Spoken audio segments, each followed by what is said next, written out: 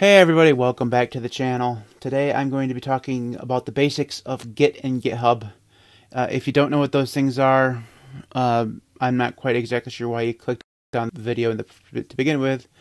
Um, but basically, just for the, the noobs out there, I guess, uh, Git is a software program that allows you to upload things to a Git repository, either hosted you know, by yourself or by GitHub or GitLab or something like that. Git, GitHub is just a place to store repositories. Um, it's mostly used by developers to store code and um, share codes with not only their sometimes their customers but with, with each other, whatever uh, you know whoever they want to share it with. Things can be public, it can be private, whatever. Um, so the first thing you can, if you want to use GitHub in order to uh, share your to upload files or even just to back up your dot files or whatever, uh, the first thing you want to do is create a uh, GitHub account. You can also use things like GitLab, or um, there are ways that you can host it yourself by using Git on a, your own server. If you have a some kind of server, you can do it yourself. But that's not what this tutorial is about. I'm going to use GitHub. You just create your own account. I'm not going to walk you through that because it's just like any other thing. You can just you just create an account. You should end up on a page that looks something like this.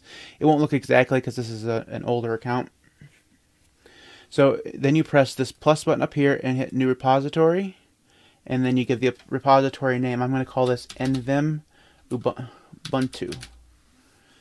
And that's because we're going to be uploading our nvim file that we've been working on in our tutorial system, or tutorial series, uh, our NV neovim uh, config file from scratch. And you just give it a, you can give it a description here.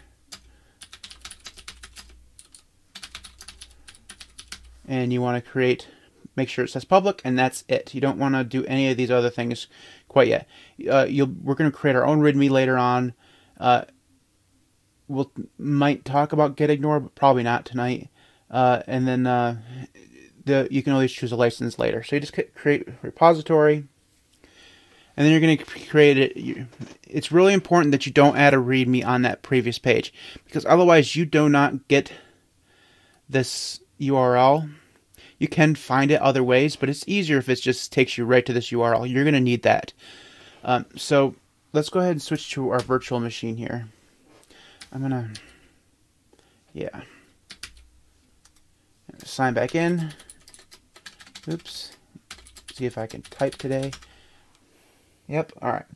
So we're going to want to open up a terminal and do an ls just to see what we're here. So I've created a, a directory here. You, you do this by make directory, and I called it repository. Um, you can call it whatever you like. You can call it git. You can call it dot files. Whatever you need to call it, just or you know, file if you're just practicing. Um, I've already done that, so I'm going to cd into repository.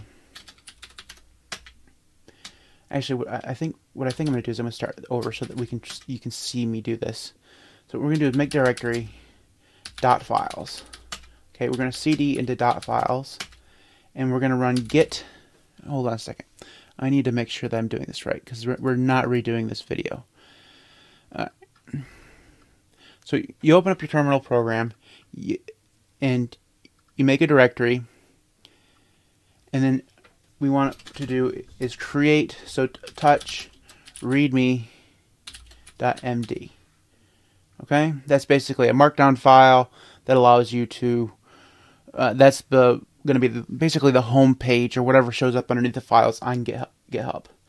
Okay, this will basically show, and we can uh, nvim into README. I hate not being on ZSH.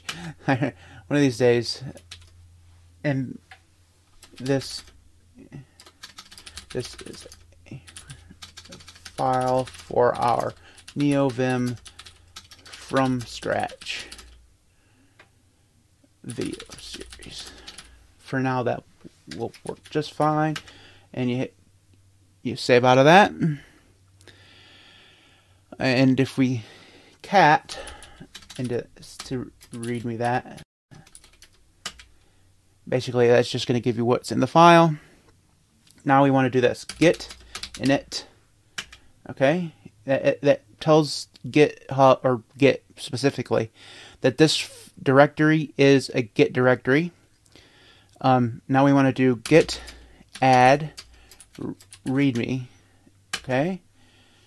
Um, alternatively, if you have more than uh, one thing in the file and you don't want to go through and list them all, you can do git add dash s all, and that will add everything in the directory to uh,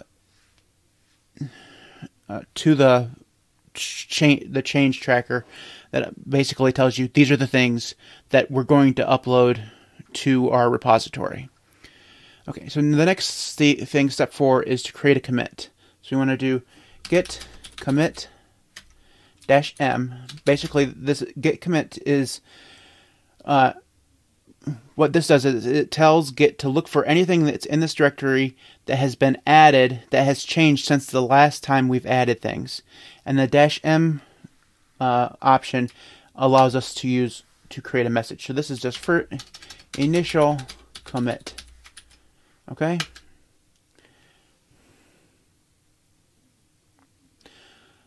All right, we got to do those things. All right, so we're going to have to change these things. All right, I'm to do git. I forgot that you had to do this first. It's been so long since I had to do this. Dash dash global user dot email, and mine is mtwb47. Oops. gmail.com. Okay. And name, this is just Matthew Weber. Okay. You will have to do that. So you, that email address is going to be the one that you uh, signed up your GitHub for uh, under. So if you, you, whatever email you used. Um, so now we can go through and do the initial commit. There we go. This is what you should should see if you've been successful.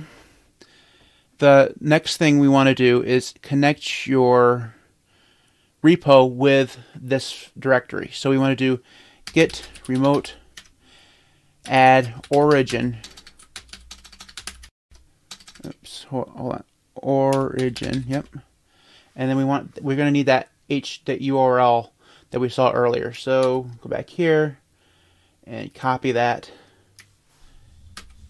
and V, yep, there we go. And then um, you want to hit enter. Yep, and that shouldn't have any output at all if you've done it right. Okay, now we have connected our local copy of uh, files, which is the name of our directory, to the repository called uh, nvim Very simple. The the last thing uh, we want to do, I believe. Uh, I think they skipped us a file here. I think we need to push it. I think when I made these notes, I forgot to push something.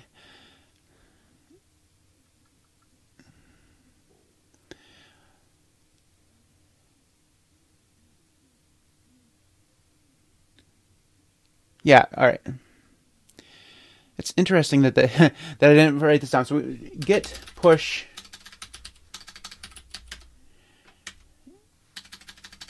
and I think there is a uh,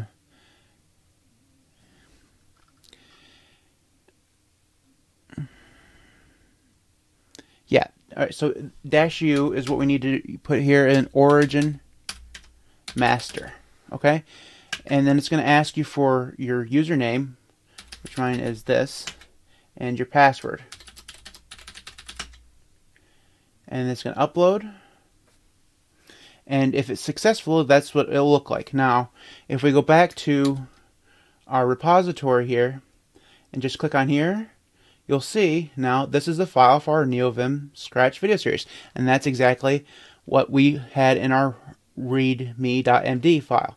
Now, basically, that's all you need to know. But let's go through and actually upload a directory uh, that we said we were going to do. So what we want to do is cp-r, okay, tilde slash dot config nvim.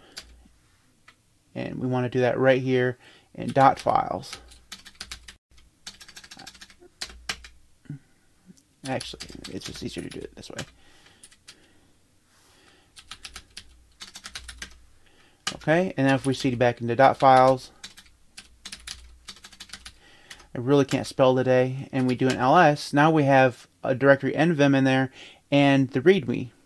Okay, so what we want to do now is get uh,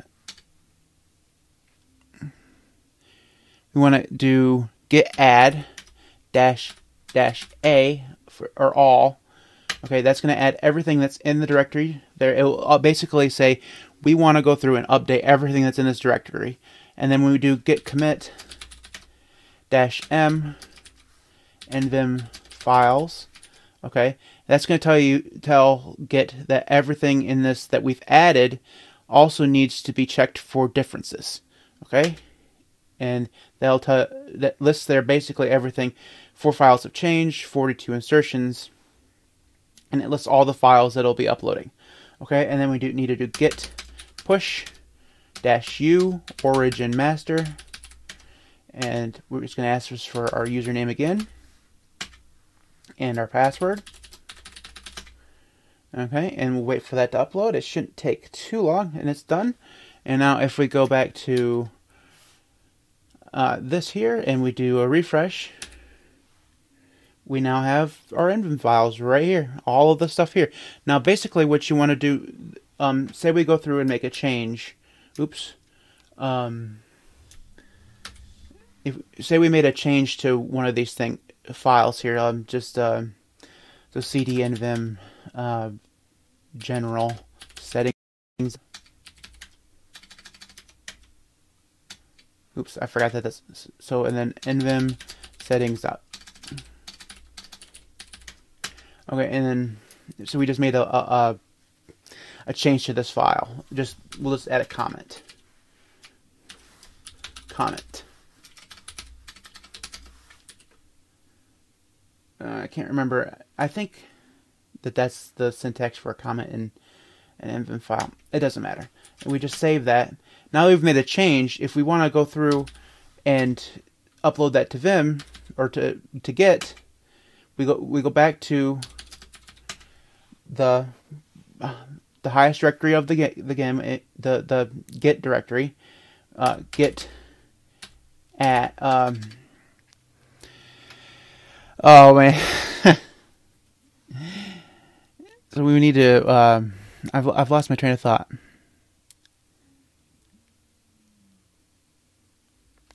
Yeah, it's get add, and then uh, I don't know why that was so hard. It shouldn't have been. I should remember.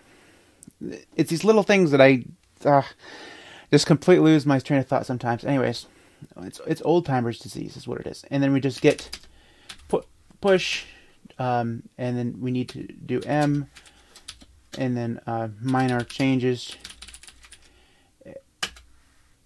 Oops.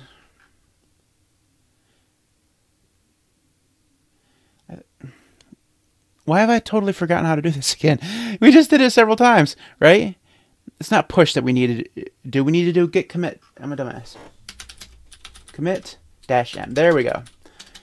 I'm skipping steps. Minor changes now git push dash u origin master. And then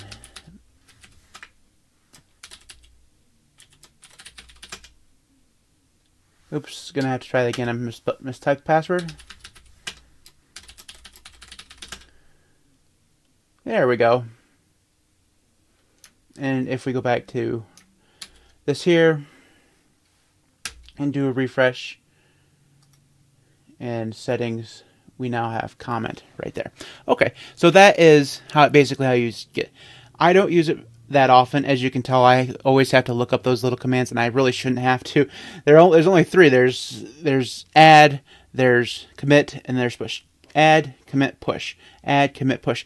If you remember those three after you've got things set up you can go through and constantly update your repository and you'll always have different versions. So if you go here and see history, you can see that we have two different versions, and if we click on this here, it will actually show us the difference between these. Um, so that's Git in a in a nutshell. There's a lot more things you can do with Git, like gists and all sorts of things. I don't know about those things yet. I'm still learning. But that's how you use Git. Now, if you like this video, give us a thumbs up, give us a thumbs down, either one. I don't care. If you like to give, uh, if you really like the video, give us a subscribe and hit the notification icon to make sure you're up, you're alerted to all of our awesome videos. And uh, we'll see you next time.